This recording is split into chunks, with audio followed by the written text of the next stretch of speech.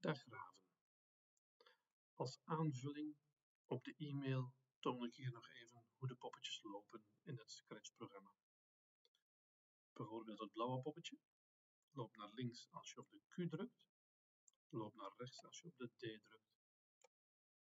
Naar voor loopt hij als je op de S drukt en naar achter als je op de Z drukt. Let op, als naar voor en naar achter lopen, kan eigenlijk niet, want het scherm is plat.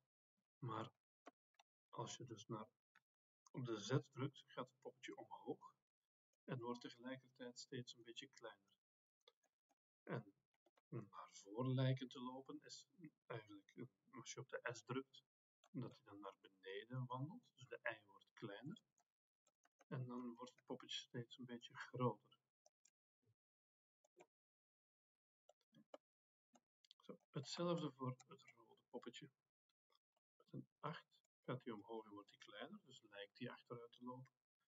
Met een 2 loopt hij naar voren, dus gaat hij naar beneden en wordt hij groter, lijkt vooruit te lopen.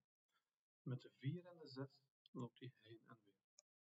Dus het naar boven en naar beneden lopen is een extra uitdaging.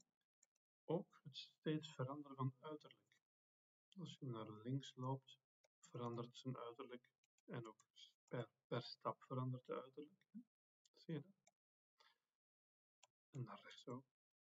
Um, dan is er nog een laatste moeilijkheid en dat is als het rode poppetje meer van voor staat, dus lager staat, en die loopt voorbij het blauwe poppetje, dan staat hij ervoor.